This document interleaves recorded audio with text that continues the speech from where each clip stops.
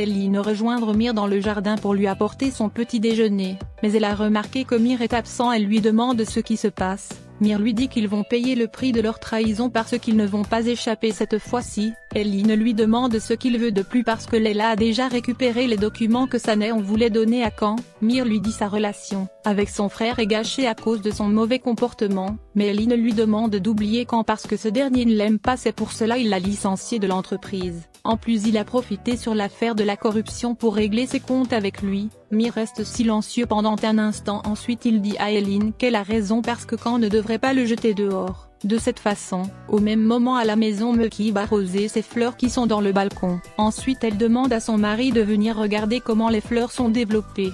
Au même moment ne passe sous le balcon, Mekib l'a versé l'eau sans le faire exprès. Ensuite Mekib se cache derrière la fenêtre, mais ne lui demande de sortir parce qu'elle sait c'est elle qui l'a versé, l'eau. Ensuite Mekib sort elle dit à Ezune qu'elle ne l'a pas fait exprès parce qu'elle a arrosé ses fleurs. Mais Ezune ne veut rien comprendre ensuite les deux femmes commencent à disputer. Au même moment Sanéon arrive à l'entreprise avec sa grande sœur mais elle a remarqué ses collègues sont regroupés dans le hall. Ensuite Sanéon demande à Gégé ce qui se passe.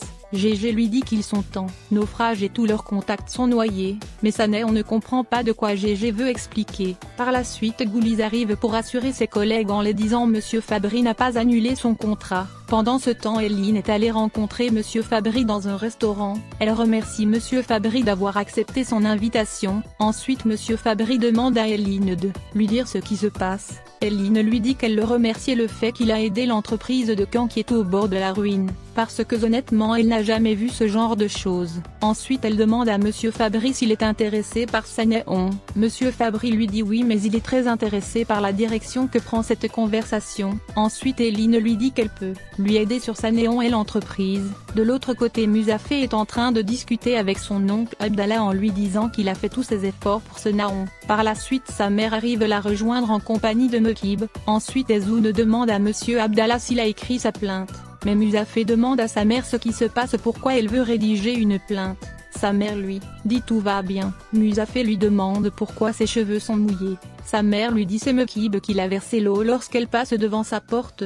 Mekib lui dit c'est pas vrai ensuite les deux chacun explique sa version, mais ils ont remarqué que Monsieur Abdallah est resté silencieux sans parler. Ensuite Musafé demande à Monsieur Abdallah de dire quelque chose.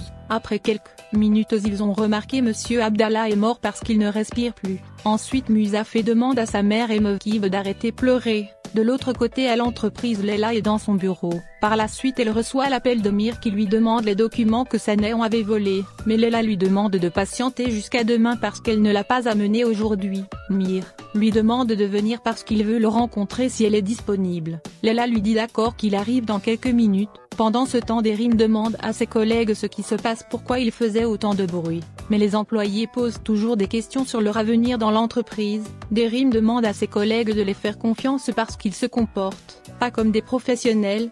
La suite elle retourne et voit Monsieur Fabry. Ensuite Derim dit à Monsieur Fabry qu'elle est désolée parce qu'ils avaient une tempête d'idées avec ses collègues. Mais aussi ils n'ont pas l'habitude de comporter de cette façon parce que leur entreprise est très silencieux. Ensuite elle amène Monsieur Fabry dans le bureau de Caen. Une fois sur place Caen souhaite la bienvenue à Monsieur Fabry et lui demande de s'asseoir. Pendant leur discussion Monsieur Fabry dit à Caen qu'il est passé pour revue leur accord de partenariat. Caen lui dit d'accord qu'ils avaient préparé tous les papiers, mais actuellement il y a certains documents qui sont pas disponibles. Ensuite il donne quelques documents à Monsieur Fabry et lui demande de vérifier tous les détails sont écrits.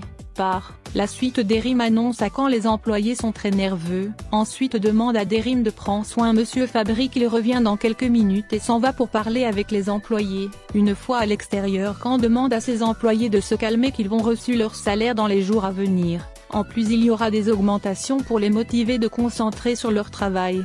Ensuite quand retourne dans son bureau, une fois sur place Monsieur Fabry lui félicite pour le discours qu'il a tenu pour calmer les employés. Ensuite il dit à Caen qu'il pense organiser une fête pour célébrer leur partenariat. En plus le problème sera réglé parce que les employés besoin parfois de changer leur environnement. Derim lui dit qu'il a raison parce qu'ils besoin ce genre d'événement, pour montrer aux gens que leur entreprise n'est pas en faillite. Ensuite Monsieur Fabry demande à quand si Sanéon est là parce qu'il voulait lui parler, mais quand lui demande ce qui se passe pourquoi Sanéon, Monsieur Fabry lui dit qu'ils doivent créer un programme avec Sanéon, par la suite Sanéon arrive les rejoindre pour apporter quand son thé, ensuite Monsieur demande à Sanéon si elle est disponible, parce qu'ils ont un programme pour leur création de parfum, mais quand dit à Monsieur Fabry que Sanéon n'est pas disponible aujourd'hui parce qu'elle a beaucoup de travail à faire, ensuite Monsieur Fabry donne rendez-vous Sanéon dans le week-end et s'en va. De l'autre côté me rejoindre ses collègues pour les annoncer la fête qu'ils organisaient pour célébrer leur partenariat. Les employés sont très contents pour cette nouvelle et commencent à applaudir. De l'autre côté Leila est dans un restaurant avec Mir. Ensuite Leila demande à Mir s'il retourne pas à l'entreprise. Mir lui dit oui qu'il va revenir pour continuer son travail comme avant. Leila est très contente pour ce nouvel elle dit à Mir qu'elle est très contente d'entendre cela. Ensuite Mir le remercie en lui disant qu'elle a un cœur pur et qu'elle est très gentille, mais aussi il regrette pourquoi il ne l'a pas connue depuis longtemps. Ensuite il demande à Leila si les documents sont là. Leila lui dit non mais elle peut les apporter demain. Mir lui demande de sécuriser les documents parce qu'ils sont très sensibles. Ensuite il offre un cadeau à Leila et lui demande d'ouvrir la boîte pour voir ce qui est à l'intérieur.